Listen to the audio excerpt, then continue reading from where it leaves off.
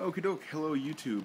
Um, so I'm going to show you today how to create a preset on the Nova system here.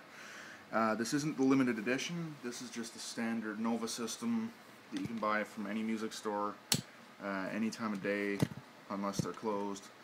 LOL.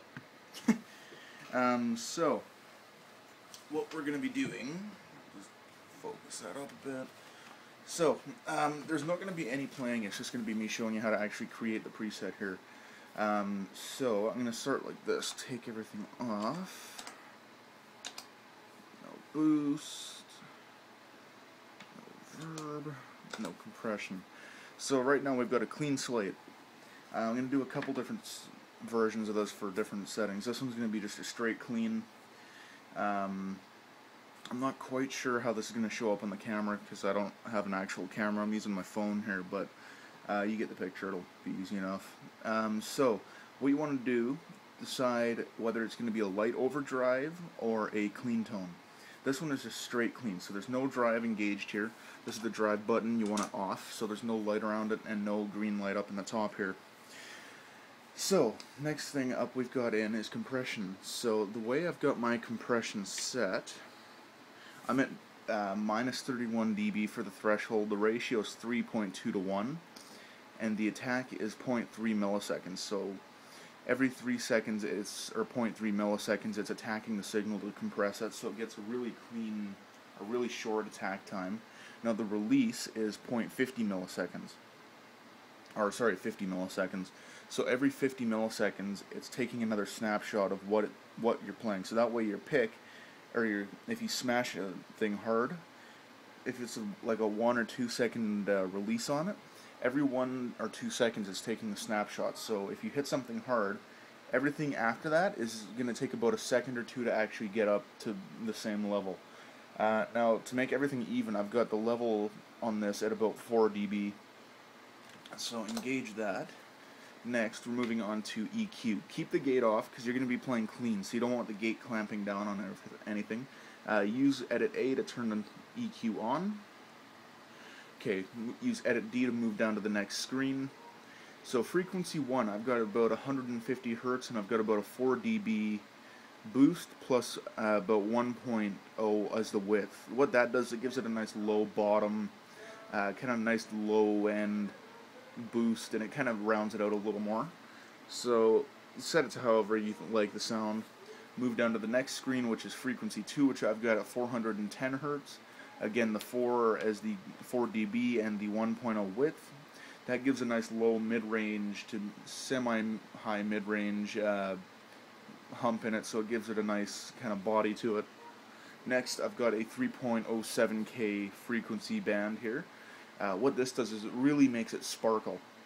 If you go any higher, it kind of tends to get a bit shrill, but between the 3 and 5K, that's where you really get a nice width to it. I've got about a 2 dB boost on this, and again, another 1.0 width. Um, if you keep going down, then you get into the gate, so you don't have to worry about that. So, next we move to the modulations. Um, so, turn that on, if you want it, I do. So, uh, for modulations, I've got this set as a vibrato because what that does is it gives it a nice shimmer behind the pitch, which I'm going to use as my chorus.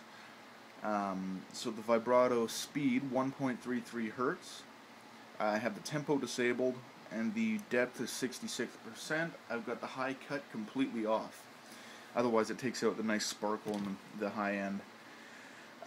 So that's the modulation. You can use anything you want. I like flangers on phasers. Um, they all sound great on clean tones. They just they thicken it up and spice it up a little more. Next up, we've got our pitch. So turn that on. Next, push your tip pitch button. Um, now I've got it set at uh, voice 1 is 10, voice 2 is minus 15. So it gives it a nice space. Move down using Edit D. Uh, now I've got both pitches panned 50% left right. So each one is 50 left, 50 right. Uh, move down again. I've got a zero millisecond delay on it. On either one, the feedback on number or side one is six percent. Feedback number two is seven percent. That'll give you a nice bit of a hum to it if you want to think of it like that. Uh, now level 1 and level 2 are off. I don't oh sorry, they're at 0 dB so they're flat completely and the mix is at 100%. So next, um, I'm going to jump over the delay and move right to reverb here for this one. What I've got it set on is spring reverb with the decay is 3.3 seconds. That gives it a nice little trail off if you ever have to switch patches. Pre-delay 0%, mix is 12%. Move down. Uh, I've got the size at medium, the color on it is bright, and the high factor is 6. I didn't really change anything there, it just sounded good. Um, and everything else is stock on that. So you got your reverb, now you want to hit your delay button. You'll see the light on the delay turn on. I've got it set at a dual delay so it thickens it up a bit more. Side 1 is 407 seconds, two, side 2 is uh, 271 milliseconds. Let's Move down. Now the tempo for the side 1 is a dotted eighth, tempo 2 is just a straight eighth note. So that way it gives it a nice little bounce off each other. Move down again. Feedback 1, 37%, feedback 2 is 35%. Um, I have no clue what the feedback, oh, feedback cut. Um, I just kept those stock 7.9 and 50 on side, or 700, 7.94 K on side 1, side 2 is 50.1 hertz pan 1, 14 left, pan 2, 16 right, so it does spread it a, spread it a little, but it is still very close, so it does fatten things up. The mix is 35%, so it doesn't get in the way, but if you need it there as a solo piece, You've still got a bit of delay in your face. So, when you're done, hit menu, just to take you back, and your top panel, I'm just going to move this so I can see, yeah, that's perfect. Your top panel there should have all those lights engaged except for your drive, because you don't want your drive on on this one, unless you want that. Um, now there is also the boost function, so if you get into that, if you do want your boost on, you can click into the uh, drive setting by simply pushing your drive button. Uh, simple as that, and you can choose the boost here. So this one's at 5 dB, worked for me. Um, now, what I, what I usually do, I hit menu, push menu again. Now routing comes up. What you want to do, push menu. I have, have everything as parallel. Um, what this does is it keeps basically any of the last four, basically everything after the EQ, it puts it as separate e or um, effect blocks. That way, um, none of the other signals like say the modulation into the pitch, nothing from the modulation affects the pitch, nothing from the pitch affects the delay, and so on and so forth.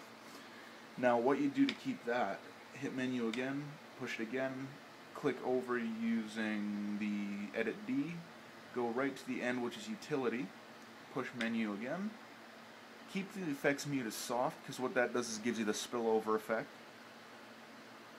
Uh, keep going until you see routing lock. Now when you have routing lock, switch it to on, push menu again, and what that does is it sets every bank that you create as parallel, so that way you don't have to worry about other effects and other things changing the sound, it just keeps it all the same. Now to store, push store. Now I'm going to keep the name as clean wet because that's just so I know what it's called. I'm going to create a new bank here. So I've got stuff in bank 2 and nothing in bank 3 preset 1. So if you want to change the name, you basically just scroll with edit B, change the character with edit C. What does edit B do? And edit D deletes it, so you don't want to do that. um, unless that just means, I don't know. Uh, so, now to store it, it's as simple as this. Once you've created the name and chosen the bank, you push store. Boom, preset stored. Now I've got me, bank 3 as my clean wet. Now just to change this up, because I do want to have this as my funk patch. Oh, I forgot to turn the compression on. Did I? Oh, that's the one. Um, okay then. So just to change this up, give me two seconds. Mix. I'm going to take down to about 50%. 60%, eh, 55. This is going to be my funk bank. Um, so, yeah. Delay, give me two seconds. Mix at about 19, store. So I now have my clean on my number 3 bank here. Actually, I should put pitch on again. There we go. And actually turn my reverb down a bit as well. I'm putting my reverb mix at about 5. So there we have it. And you have just created your first preset on your Nova system. Um, now to keep doing that, you basically just tweak it till you like the sound of it. Um, I'm going to do one on the overdrive in the system and how to get a good tone out of that as well as the distortion. So keep your eyes open for that and uh, yeah, hope you dig it and ciao.